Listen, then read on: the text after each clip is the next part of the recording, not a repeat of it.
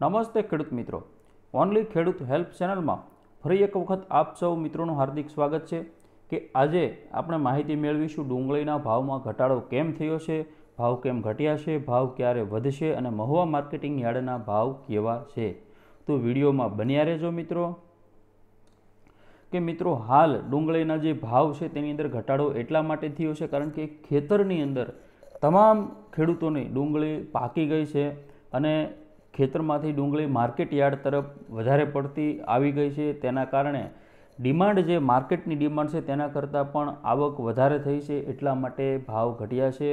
તો પ્લીઝ ખેડૂત મિત્રો, ડુંગળી જે છે તે અત્યારે પાકી ગઈ છે એટલે સંગ્રહ પણ કરી શકાય તેમ નથી અને વેચવી જ પડે તેવી ખેડૂતની પરિસ્થિતિમાં ભાવ ઘટ્યા છે.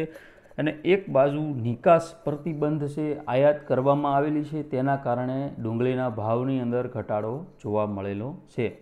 સરકારને આપણે આ વિડીયોના માધ્યમથી એક નમ્ર અપીલ કરીએ છીએ કે ખેડૂત મિત્રોની દુઃખદ હાલત છે અત્યારે, કારણ કે એક હજાર રૂપિયા ભાવની કળી સોંપેલી હોય અને તેને અત્યારે બસો રૂપિયા ભાવ મળે, દોઢસો રૂપિયા ભાવ મળે કે અઢીસો રૂપિયા ભાવ મળે તો તેનું કાંઈ થવાનું નથી. મિનિમમ ભાવ શરૂઆતનો ચારસો રૂપિયાથી કે પાંચસો રૂપિયાથી સ્ટાર્ટ થાય અને સાતસો, આઠસો સુધી ભાવ મળે તો કંઈક ખેડૂતને નફો થઈ શકે તેવું છે.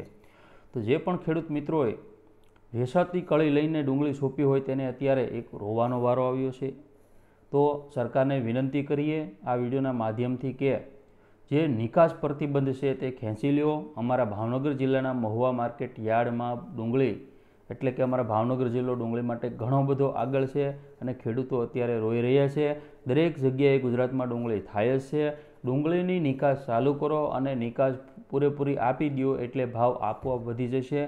ખેડૂત ઉપર કોઈ સો રૂપિયા જે સરકાર ક્યારેક ક્યારેક સહાય કરે કે મને સો રૂપિયા એવું કંઈ આપવાની જરૂર નથી. માત્ર નિકાસ વધારો, આપોઆપ ભાવ વધી જશે. અને અત્યારે ખેડૂતને પાક તૈયાર થઈ ગયો છે એટલે લાવવો ફરજિયાત છે, કારણ કે ખેતરમાં આ પાક લાંબો સમય સંગ્રહ કરી શકાતો નથી. જો તમે લીલા રોપની ડુંગળી સોંપેલી હોય અને તે તમે મેળાની અંદર તમે સંગ્રહ કરી શકો, બાકી આ કળીની ડુંગળી તમારે તાત્કાલિક ધોરણે વેચવી પડતી હોય છે, એટલા માટે થઈને ખેડૂતને નુકસાન વેઠવું પડે છે. તો ભાવ ઘટવાનું કારણ નિકાસ પ્રતિબંધ છે અને આયાત કરવામાં આવેલી છે અને અત્યારે માલ પબલક મબલક ઉત્પાદનના કારણે યાર્ડની અંદર માલ આવી રહ્યો છે. તેના કારણે અત્યારે ડુંગળીના ભાવ ઘટ્યા છે.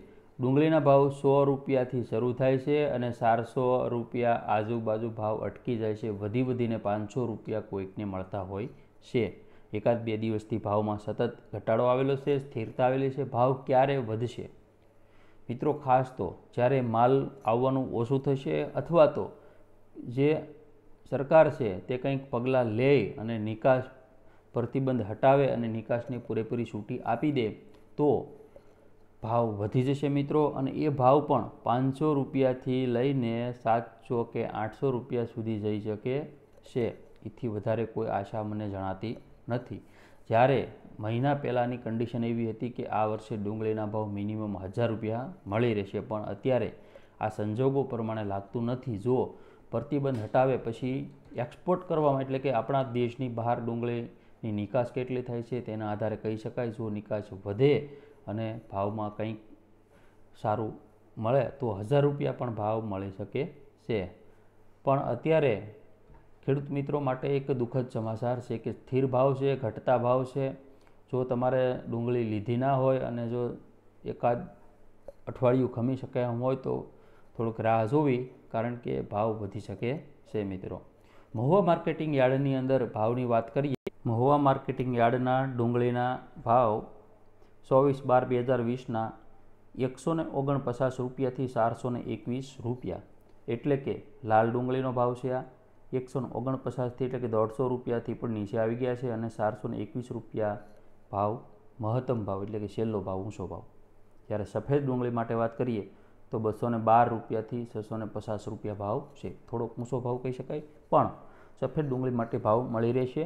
એમાં બહુ ચિંતા કરવાની જરૂર નથી, પણ બસો રૂપિયા ભાવ જે છે તે હાવ નીચો ભાવ કહી શકાય.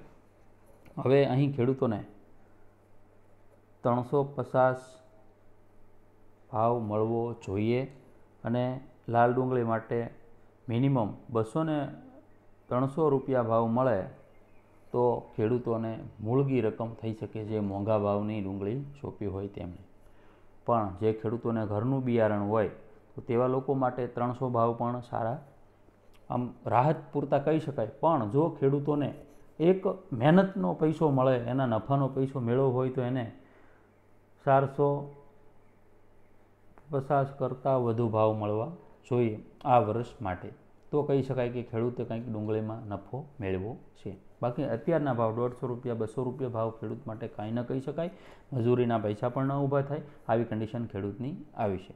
તો બસ આવતા વિડીયોમાં ફરી વખત મળશું. ત્યાં સુધી મને રજા આપશો અને આ વીડિયો એટલો બધો શેર કરજો મિત્રો કે જેથી કરીને સરકારની આંખ ખુલી શકે.